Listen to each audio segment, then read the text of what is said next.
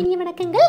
இருபத்தி ரெண்டு ஐந்து ரெண்டாயிரத்தி பதினேழு ஆகிய இன்றைய தினம் சரவணன் மீனாட்சி நிகழ்ச்சியில் என்ன நடந்தது என்று பார்த்தோம் என்றால் சங்கரபாண்டியுடன் வேலை செய்து கொண்டிருக்கும் ஒரு ஊழியர் சங்கரபாண்டியின் கவன ஈனம் காரணமாக மரணமடைந்து விட்டார். அவருடைய மரணத்துக்கு பதில் கேட்டும் மற்றும் கோபமாக திட்டுவதற்காகவும் வீட்டுக்கு முன்னால் வந்து நின்று கொண்டு கோபமாக திட்டிக் கொண்டிருக்கின்றார். அந்த இறந்த ஊழியரின் தந்தையாரும் மற்றும் மனைவியும் மனைவியின் கையில் அந்த ஊழியருடைய மகனும் இருக்கின்றார்.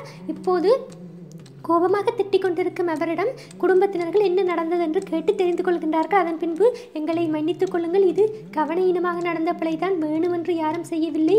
எந்தவித உள்நோக்கமும் இல்லை. தயவு செய்து எங்களை மன்னித்து விடுங்கள். உங்கள் குடும்பத்துக்கு ஒரு மூத்த மகனாக இருந்து என்ன செய்ய முடியுமோ அனைத்தையும் சங்கரபாண்டி செய்வான் என்று சங்கரபாண்டியுடைய மனைவியார் கூறும் பொழுது நீங்கள் எங்களை இந்த செட்டில் செய்து அனுப்ப பார்க்கின்றீர்களா?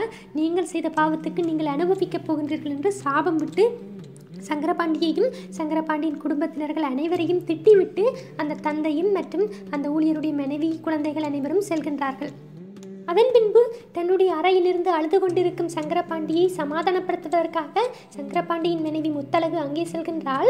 அப்போது சங்கரபாண்டி நான் தெரிந்தென்று செய்யவில்லை. என்னால் தெ- பல குழப்பங்கள் வீட்டு பிரச்சனைகள் என்ற அனைத்தையும் சிந்தித்த காரணத்தால் நான் இந்த தவறை செய்துவிட்டேன் என்று கவலையாக அழுது கொண்டிருக்கின்றார் சங்கரபாண்டி. ஒரு கட்டத்தில் கவலை தாங்க முடியாமல் முத்தலகிடம் சாய்ந்து அழத் தொடங்கிவிட்டார். முத்தலகம். ஒன்றும் யோசிக்காதீர்கள் இந்த சாபம் உங்களை பழிக்காது. ஏனென்றால் நீங்கள் நல்லவர் என்று அனைவருக்குமே தெரியும். உங்களுடைய நல்ல எண்ணத்துக்கும் நல்ல குணத்துக்கும் கண்டிப்பாக இந்த சாபங்கள் ஒன்றும் உங்களை பலிக்காது நீங்கள் சந்தோஷமாக இருங்கள் என்று சமாதானப்படுத்துகின்றாள். அத்தோடு அந்த காட்சி முடிவடைகின்றது. அடுத்த நாள் முத்தலக கோவிலுக்கு செல்கின்றால் கோவிலுக்கு சென்று விட்டு வரும் வழியில் முத்தலகிடம் ராதிகா மறைத்து ஐந்து லட்சம் ரூபாய் பணத்தொகையை கொடுத்து இந்த பணத்தொகையை வீட்டை மீட்பதற்காக பயன்படுத்துங்கள் என்று கூற ஏன் இது உங்கள் உங்களிடமிருந்து நான் இதை பெற்றுக்கொள்ள மாட்டேன்? ஏன் நீங்கள் இதை தர வேண்டும்? வேண்டாம் விடுங்கள் நாங்களே ஏதாவது பார்த்துக் கொள்கின்றோம் என்று முத்தலகு கூறுகின்றால் அப்போது ராதிகா கூறுகின்றால் நான் வர இருக்கின்ற வீடு தானே எப்படி பார்த்தாலும் நீங்கள் முழு மூச்சாக என்னையும் சங்கரபாண்டியையும் சேர்த்து வைப்பதற்கான முயற்சிகளில் ஈடுபட்டு கொண்டிருக்கின்றீர்கள். உங்கள் மீது எனக்கு முழு நம்பிக்கை இருக்கின்றது. நீங்கள் எப்படியாவது என்னையும் சங்கரபாண்டியையும் சேர்த்து வைத்து விடுவீர்கள். அதனால் நான் தரப்போகின்ற வீட்டுக்கு நான் பணம் கொடுக்காமல் யார் கொடுக்க முடியும்? இந்த பணத்தை பெற்றுக்கொள்ளுங்கள் நான் வரும் பொழுது அந்த வீடு எங்களுக்கு சொந்தமாக இருக்க வேண்டும் என்று கூறிவிட்டு செல்கின்றாள் ராதிகா.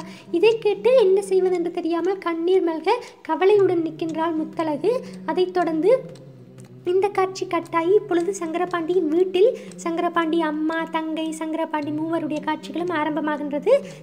சங்கரபாண்டியுடைய அம்மா எங்கே முத்தழகு காணவில்லையே இவளை என்று பாப்புவிடம் கேட்க பாப்பு சொல்லுகின்றால் எனக்கும் தெரியாது வழியில் செல்கின்றேன் என்று போயிட்டு வந்தால் ஆனால் எங்கே போனால் என்று எனக்கு தெரியாது இன்னும் வரவில்லை என்று கூற ஃபோன் பண்ணிப்பார் என்று கூறுகின்றார் ஃபோன் செய்தால் ஃபோன் ஆஃப்ல இருக்கின்றது.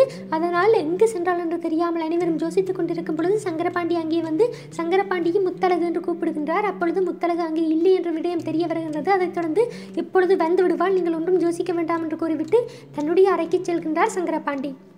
அங்கே பார்த்தால் ஒரு கதிரையில் ஐந்து லட்சம் ரூபாய் பணத்தொகையும் ஒரு கடதாசியும் எழுத வைத்து எழுதி வைக்கப்பட்டிருக்கின்றது. அதாவது ராதிகா இந்த பணத்தொகையை தந்தார். அது மட்டுமில்லாமல் உங்கள் மனதில் இப்பொழுதும் ராதிகா தான் இருக்கின்றால் என்னுடைய மனதில் வேறொரு ஓட்டம் இருந்தது.